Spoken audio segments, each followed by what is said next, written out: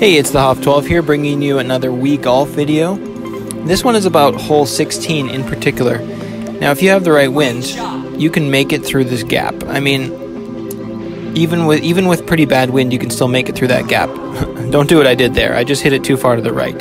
So anyways, when you have wind that's going straight towards the flag, straight towards the green, what you can do is you can just hit it full power with the driver and that will happen you'll get enough distance that it'll actually land in the bunker and it'll slow it down just enough so it stops on the green.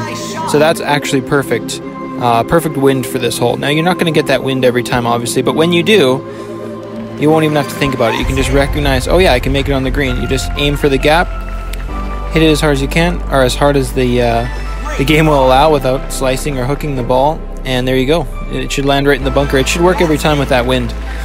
And hopefully that's a useful trick. It's a pretty simple one, pretty obvious, but it's really nice to know that you don't have to, you know, worry about the ball going all over the place. It'll you can actually control exactly where it goes. You can land it in the bunker and roll it right up onto the green.